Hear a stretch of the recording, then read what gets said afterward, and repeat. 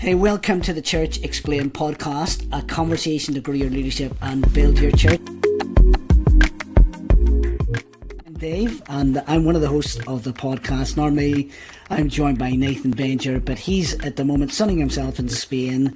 It's his anniversary, so he tells me, so he's not around today. But it's exciting to have Mal Fletcher with us today on the show. Welcome, Mal. Great to have you here. Thank you, Dave. Good to be here. Fantastic. Let me just uh, share with our audience a little bit about you um, so people get a bit of a flavour of who you are.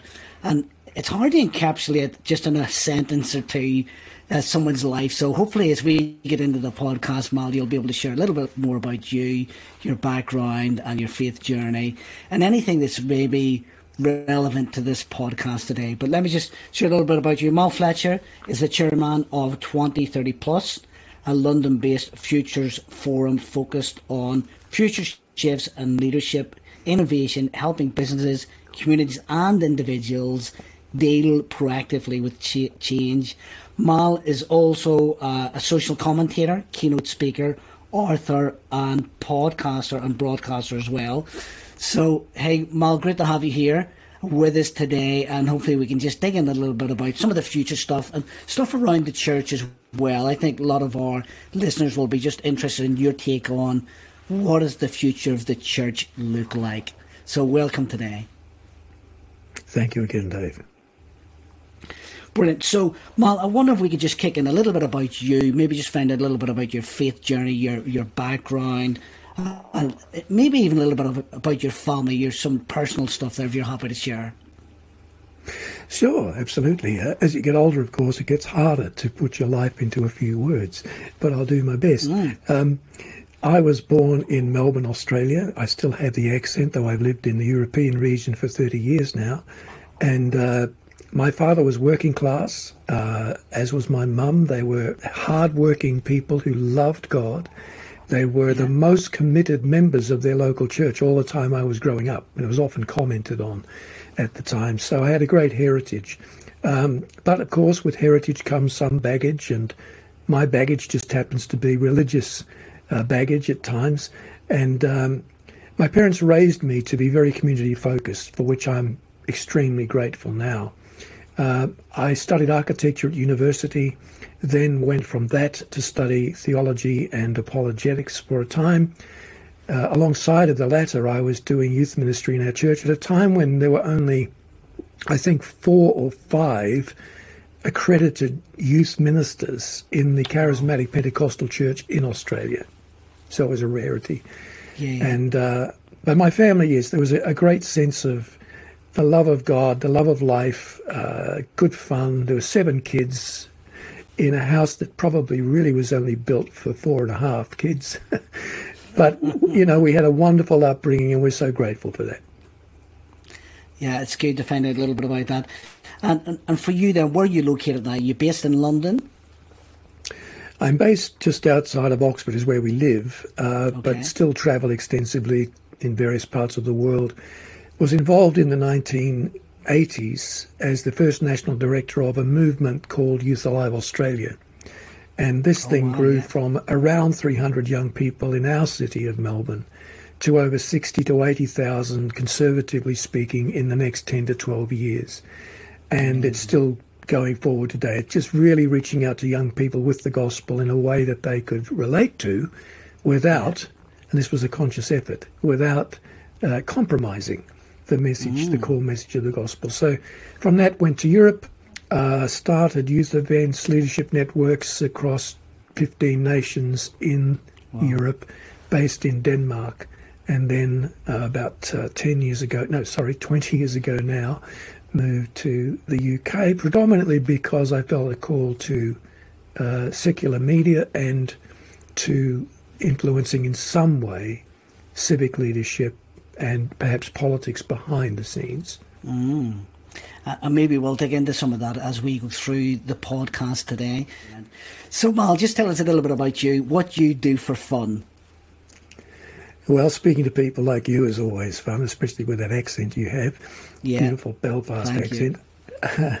I uh, well, I'm pretty simple to please when it comes to fun because I, I, travel a lot. I have done for 40 years around the world. Wow. I just like being at home, um, reading. Do a lot of reading. I uh, play piano. I was a singer songwriter before I was a preacher, so I still occasionally dabble in that. Not in public, wow. I must hasten to add. Okay.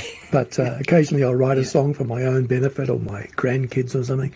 Um, and yeah, I, I, driving around, spending time with my wife, Davina. Uh, no extreme sports in there. Okay. no, no jumping off buildings or anything like that. Then, so just uh, taking taking it easy. never been tempted. Never been tempted. I've been tempted a few times actually, just to do some abseiling or some other stuff, or you know, hand gliding. I quite fancy that actually, but um, you know, you never know. I might do it at some point in my life. So, hey, Mal, just as I say, great to have you here. Great to find out a little bit about you as a person. Um, I thought it'd be good for us just to begin to talk around some of the stuff that you're exploring and some of the stuff you're working on. Thinking especially around the the the idea of AI at the minute. It's very popular. It's really come to the forefront, and I guess trying to work out like you know where what should leaders do with this? So whether in a church context or outside the church context, I mean, AI is here to stay. It's not going anywhere.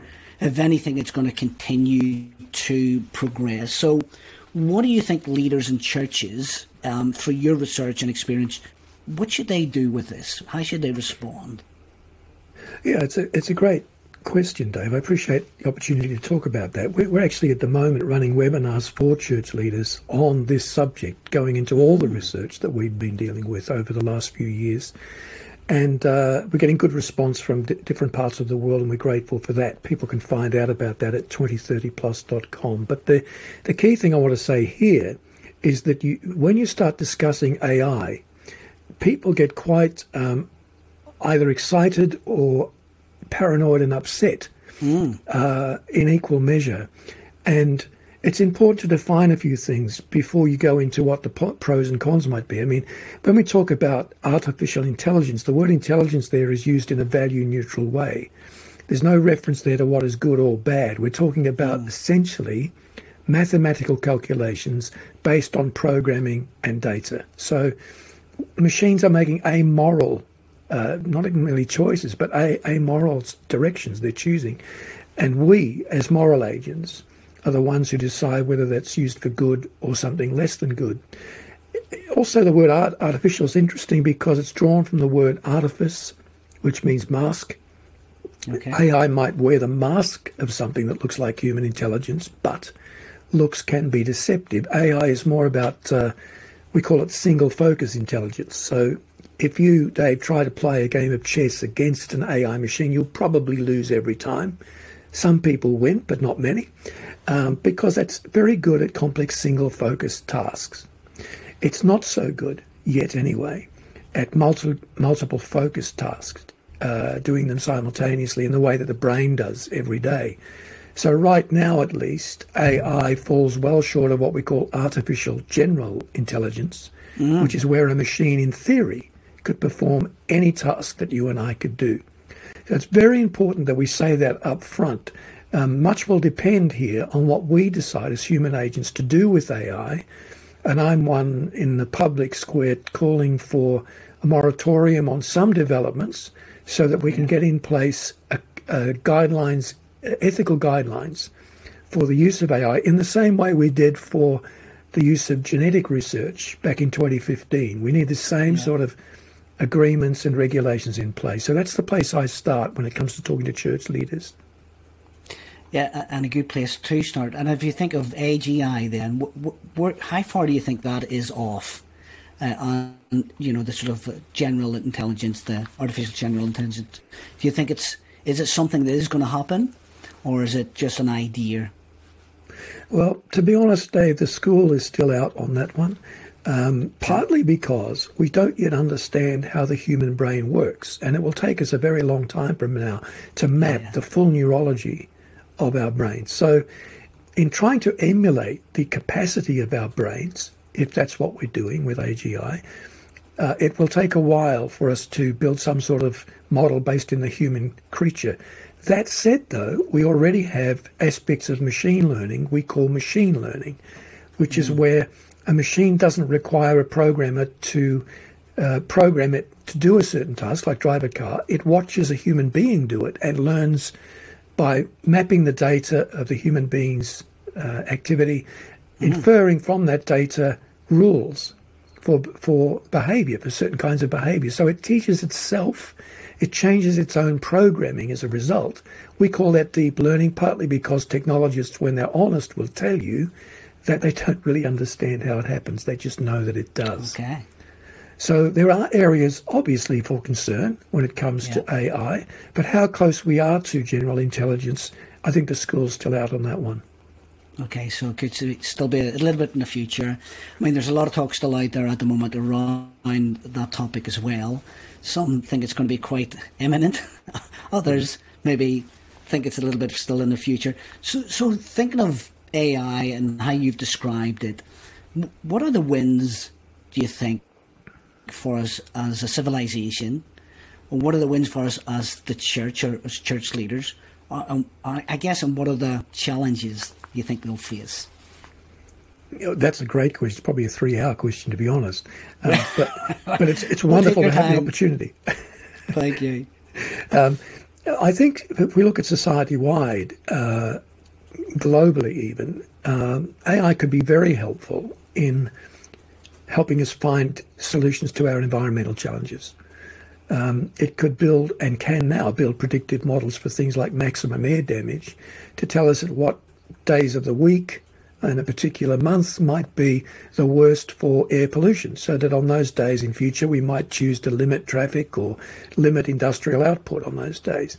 Um, it could be very helpful in manufacturing improving the control of robotic machines, which are already in place in so called mm. smart factories, enhancing the efficiency of those machines, checking their decisions to make sure they make good ones before they have, we, we face terrible consequences. Um, AI in healthcare. Already, AI is as good as or better than human doctors, according to some studies, in diagnosing certain forms of cancer, okay. simply because of the sheer amount of data AI can can process. So there are some positives for the church. I think there are positives there too. Um, possibilities with things like textual translation. Okay. AI can help us translate the Bible and all kinds of texts into very obscure languages through data mining of language patterns. That's what Chat GPT is built on. Mm. They're called large language patterns or models because they are trained using a whole lot of language based data. So that could be very helpful in the translation of texts. Um, it could help us in analysing connection points for the gospel in a culture. What are the questions that people are asking? Um, what are the, the points where we're most likely to be met with a receptive hearing when it comes to mm. the good news? Simultaneous translation of spoken word. You know, it's already happening in some big conferences around the world even in rare dialects, AI can translate simultaneously what someone is saying into a foreign language without any human intervention, wow. which is remarkable. Yeah, um, one of the things I love, and I've been talking about this for a few years now, is the opportunity for us as Christians to write position papers on major social problems, calling on the writings of great Christian figures in the past and present. So mm. it could collect all the thoughts of, you know, you name them, C.S. Lewis, uh, Tolkien, uh, go further back, St. Augustine, and so on, translate them into modern language on a particular subject, and then publish them in many forms at once. So by video, mm. audio, text, music, all at once. And that could be hugely helpful to us in interacting with a society and trying to present the kingdom of God in that apologetic of modern issues. There's leadership training. There's all sorts of other things that it can help us with. But I think AI is not necessarily bad news for the church.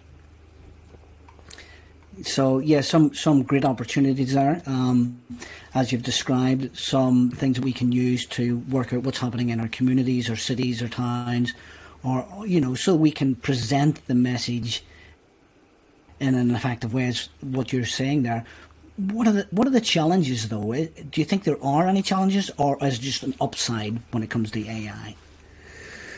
No, there there are plenty of challenges, um, and that, again would take a long time to do to deal with it properly. But I think one of the most obvious ones is jobs, and church leaders are very interested in this. Um, yeah. One study commissioned by the House of Lords in London found a few years ago that in the next what is now 15 years, something like 35% of British jobs could be automated. Wow. In Australia, it's more like 45% of jobs in the same time frame. Mm. So unemployment and underemployment are already affecting people in areas like manufacturing, but also in professions.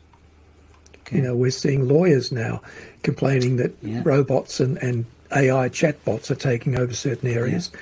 Yeah. Um, through history, New techs have always brought new forms of jobs, but the challenge now, Dave, is whether we can transition quickly enough to take advantage of entirely new careers before mm. the machines get to them. Because um, it's a, it's the speed of learning, isn't it, at the minute with the AI stuff? Yeah, exactly. It's the it's the and that, it's the sort of almost exponential growth in what AI mm. can do, and it's, so it's very hard to give definitive predictions about where AI will be in about five years, which is why some technologists are, I think, rightly, very concerned and very watchful. I mean, there's AI in the cashless economy. Um, mm. AI will put us even more at the mercy of automated systems. And I've been saying in the media for a long time, cash may be messy, but it has weight. You can feel it leaving your pocket. And the big problem with digital uh, cash, digital currency, is that people spend more with less forethought. Mm. And AI might move us, will move us more in, in that direction. Um, so there's some great benefits. False representation is a big one for church leaders. Imagine the damage AI could do to a pastor's professional reputation or even personal life as it mm. becomes more and more skilled at producing fake videos, deep fake videos. Yeah. You know, church leaders could be accused of all kinds of misbehavior, even crimes, and then yeah. very quickly tried online in the court of public opinion. Um, and look, can I just say this? One of the things AI can't do, and this should encourage pastors and Christians generally, AI can't empathize. Mm. Empathy is the one characteristic of human activity that I think machines will never master. It can fake empathy yeah. by reading your visual signals of your face and so on, but it can't show the real thing because it has no shared human experience.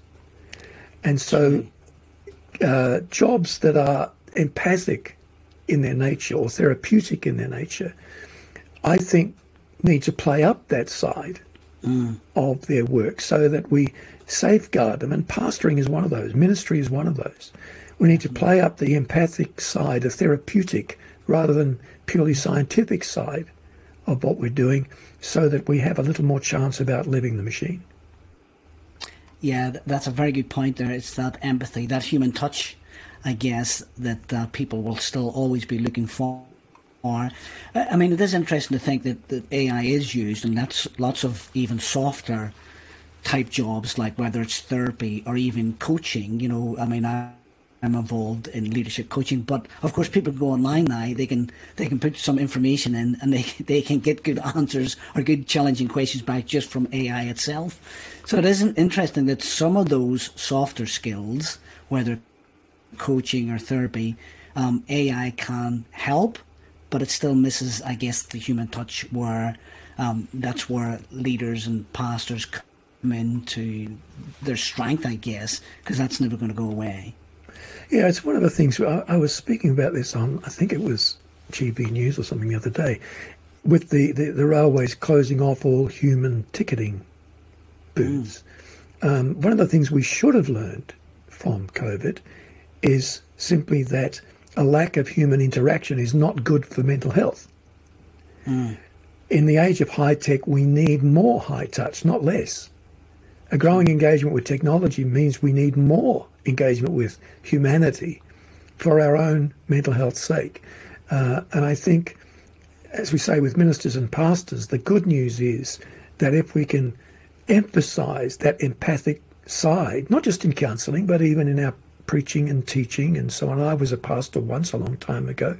Um, I'm still an accredited minister, by the way. I'm still yeah. ordained, but as a minister, there is a, a, a, an empathic side to everything we do. Even the public proclamation involves a certain degree of listening to what's happening around us.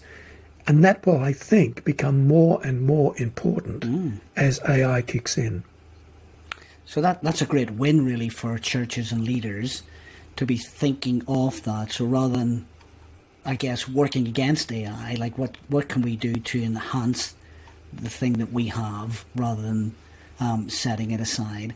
I, I, I've been thinking a little, little bit around this idea of the individual as well. Um, there's a lot of stuff out there around how do we enhance ourselves like whether it's biohacking you know people want to improve their skills or their abilities what's your thoughts on stuff like that because you know people will use technology they will use other things to improve their lives do you think there's do you think there's um, a line that we shouldn't cross yeah, I think there is. Uh, I, I, need to preface it by saying I'm not by nature or theology a Luddite. I'm not yeah. someone who's averse to change. I think the Christians in history have often been at the forefront of adopting new tools, new technologies. Printing press is just one of hundreds of examples I could give you.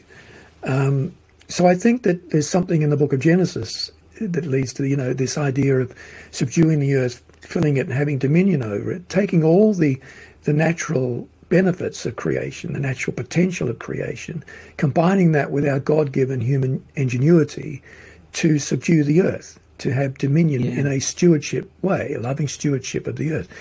So right from the beginning, I think we see this idea that Christians are to engage. Um, my dear friend Joel Edwards, Dr. Joel Edwards, who passed away a couple of years ago, mm. was for 20 years the head of the EA here in the UK. He, he used to say this if you want to shape the culture, you must engage the cultural conversation with curiosity. Great. It's that curiosity factor that is often missing, uh, or from time to time missing in what we do as Christians.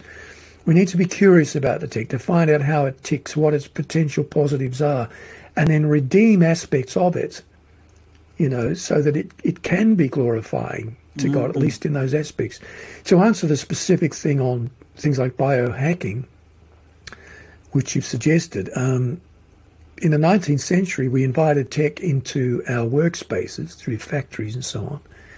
In the 20th century, we invited it more increasingly into our homes and private lives through domestic gadgets and even the internet mm. eventually. But this century, we seem to be moving increasingly toward inviting tech into our bodies. So we have wearables, you know, at the moment. We have um, high tech prosthetics produced by holographic projection. We have brain implants mm. on the cards. Elon Musk wants to start human trials this year yeah. for Neuralink to insert yeah. chips into human brains, potentially to stave off memory loss, recovery of sights uh, might result as well. All of that's good. But it does raise questions, and this is where you're coming from. Three questions in particular that we're going to need to keep asking trying to, to answer. The first one is how do we feel about our bodies becoming hackable and trackable devices? Mm. I've got a smartphone, you've got a smartphone. They're hackable by definition, any computer device is, and they're trackable. So a chip inserted under the skin or in, in some other part of the body suffers from that same potentiality. That's right. At least you can put your smartphone in the drawer and leave it at home. You can't do that with a chip embedded into the body. So that's a question. Second one is what happened to the line between human and machine? How do we know where humanity ends and technology begins? Does that line mm. even matter anymore? That's a big question. And for a Christian, that has to be based in our, our theology, doesn't it? And here's the final one. The third question we ask in the face of these things is how far are we willing to go uh, to pursue ultra pragmatism? Mm. Now, I've got no problem with pragmatism. The Bible actually doesn't have a problem with pragmatism because Jesus actually used the word pragmatizeo mm. when he said to the in the parable of the talents, he's the master says to the servants, make a profit till I come. That word profit is pragmatizeo. Mm. So God wants us to get results. But ultra pragmatism says if a thing can be done, it should be done. And in technological terms, that history shows this opens a, an entire Pandora's box of all kinds of horrors. Um, we need to think about what we do before we do it, especially with these powerful techs that we're talking about today. So I have no problem with people uh, inserting, you know, having inserted um, machine-like entities into problem areas of the body. Essentially, we've been doing something like that for decades now with other forms of surgery.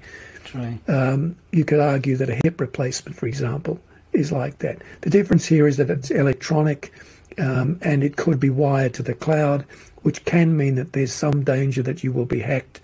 All these things need to be worked through. Mm.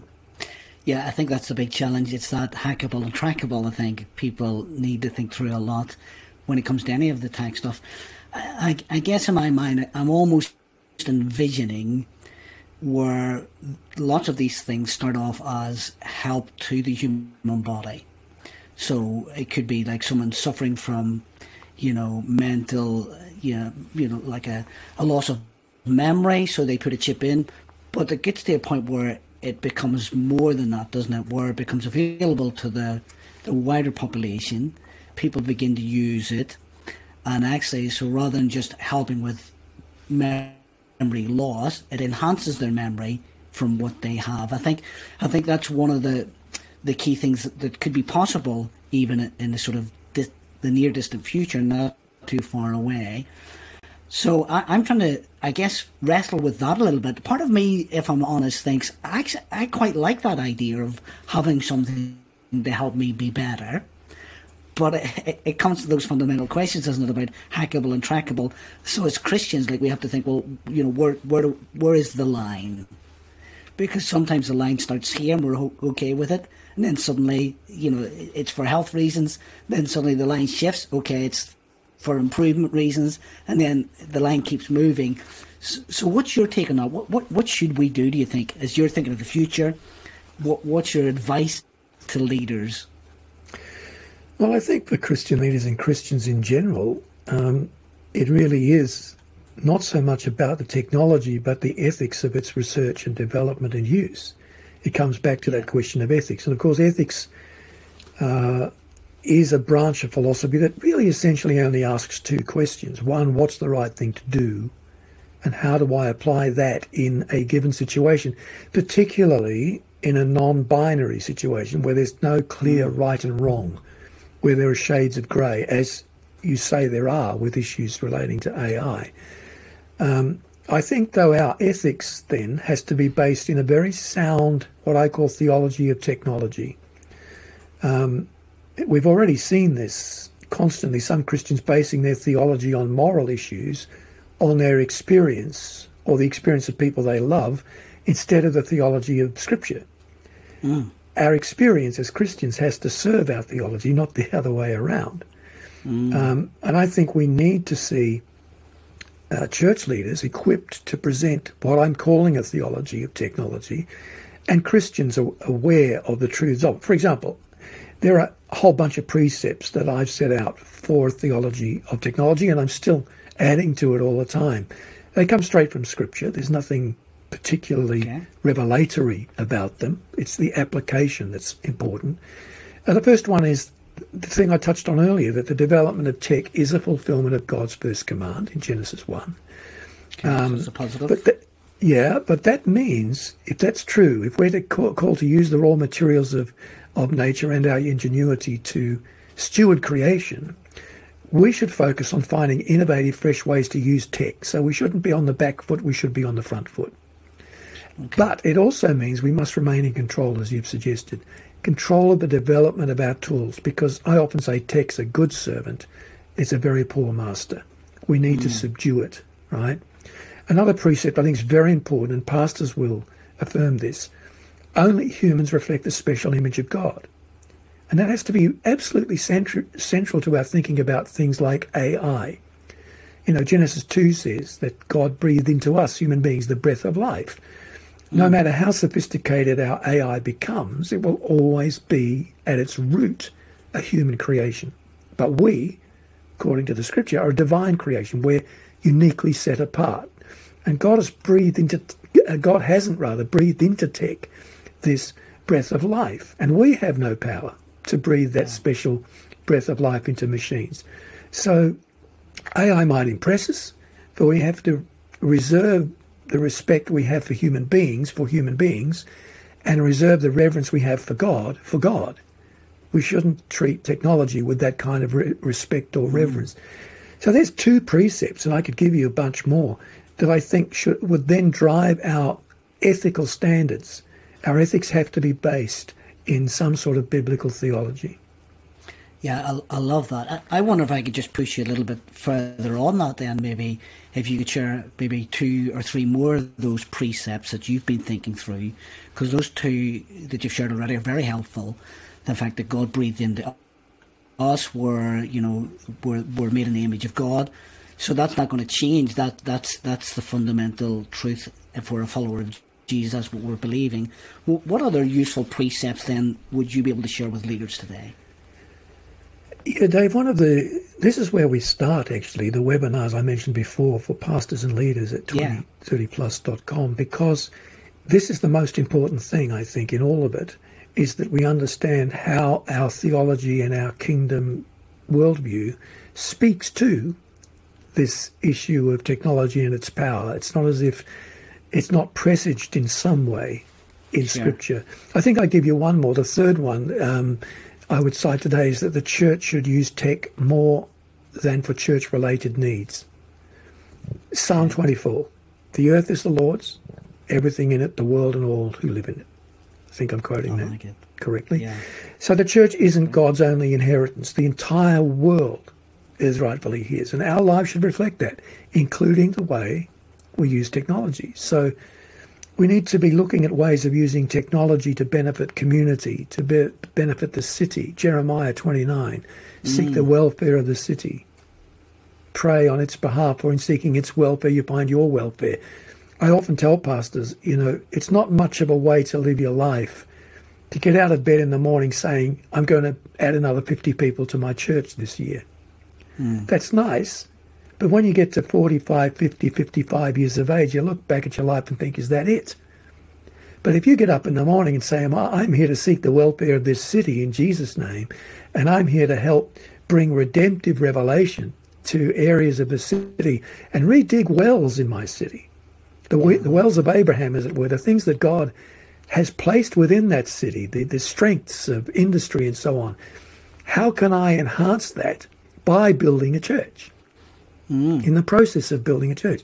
So our, you know, I'm not saying our first call isn't shepherding the people we've got. It is, but we should do it with an eye on the people who aren't yet there, but could be. Definitely. Yeah. And so this idea of the earth being the Lord's and the city being important to God should drive our uh, approach to technology, particularly things like AI, because if we can adapt AI in godly ways, we can be an example to the city of how it can be used how it, in a sense, can be sanctified, set apart. Yeah.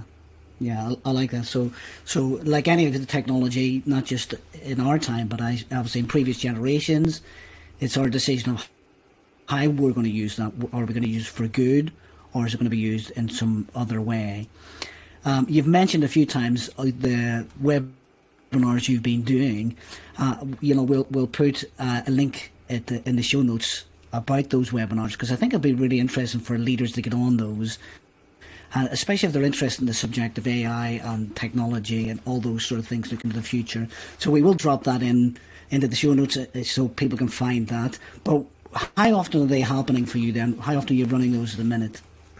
Well, the webinars have been set up so that they run automatically at certain times. Gotcha. And the benefit of that yeah, is yeah. we had people in the US, people in Europe, Australia, Asia, uh, South Africa, booking into them and you can ask questions because there's a, a, a, through mechanism whereby questions are asked uh, asked and either at the time or slightly later answered.